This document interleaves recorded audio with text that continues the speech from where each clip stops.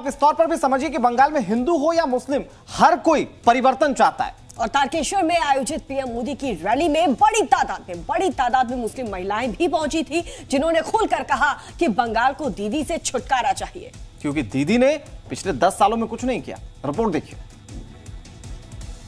मुस्लिम महिलाएँ भी घर से निकलकर प्रधानमंत्री मोदी को सुनने आ रही है और बीजेपी के लिए आ रही है। क्या नाम है आपका? जामिला बेगम। मोदी जी को सुनने आया हैं। हम मोदी चुना मोदी जी को ही चुना है। प्रधानमंत्री आप बीजे, बीजेपी को बीजेपी कर रहे हैं? हम बीजेपी कर रहे हैं और आगे भी करते रहेंगे।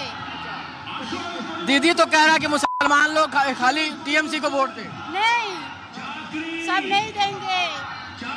मुस्लिम बीजेपी को ही वोट देगी। एक सौ एक सौ परसेंट से पचहत्तर परसेंट बीजेपी को ही देगी। पच्चीस परसेंट दीदी के पास जाएगी।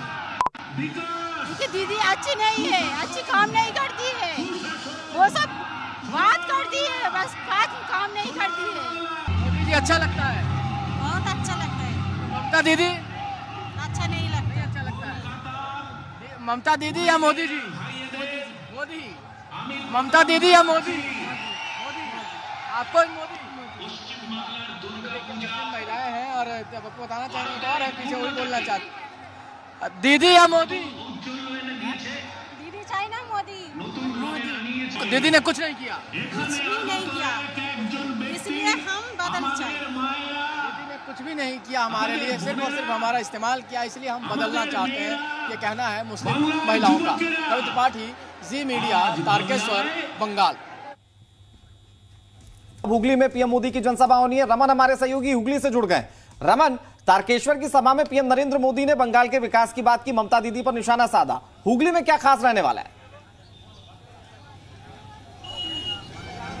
देखिए, बिल्कुल, और ये लगातार प्रधानमंत्री मोदी की जो रैली है, उसमें देख सकते हैं आप किस तरह से भीड़ जमा हो रही है, किस तरह से लगातार लोग यहाँ पर आ रहे हैं, और ये सारे के सारे कार्यकर्ता हैं जो तारकेश्वर की रैली थी, उसमें भी बड़ी संख्या में पहुँचे थे, और ये सारी जो तस्वीरें आप देख रहे हैं, कुछ इसी तरह प्रधानमंत्री की हर रैली में कुछ इसी तरह का नज़ारा होता है, बड़ी संख्या में कार्यकर्ता यहाँ पहुँचते हैं, और प्रधानमंत्री मोदी पश्चिम बंगाल को अच्छी तरह से समझते हैं, और इसीलिए वो वही मुद्दे उठाते हैं जिनका उन्हें पता है, सीधा असर होने वाला है। वो किसान के मुद्दे की बात करते हैं और साथ ही साथ वो ये भी कहते हैं कि जो आयुष्मान योजना है, उसका फ़ायदा पश्चिम बंगाल में नहीं होने दिया। शायद दीदी पड़ती नहीं है, क्योंकि अगर वो उसको यहाँ लागू होने देती और बंगाल का कोई आदमी दिल्ली में बीमार पड़ता तो उसे वहाँ भी इलाज पड़ता, इलाज मिलता। तो ये जो तस्वीरें आप देख रहे हैं, लगातार प्रधानमंत्री की रैली में इस तरह की तस्वीरें बेहद आम हो गई हैं और ये वही पश्चिम बंगाल अनुराग की जब मैं पिछला विधानसभा कवर कर रहा था तो यहाँ पर बीजेपी का झंडा तक नहीं दिखता था यहाँ पर एक पोलिंग एजेंट तक नहीं मिलता था लेकिन इस वक्त ये तस्वीरें आप देख रहे हैं कि कितनी बड़ी संख्या में लगातार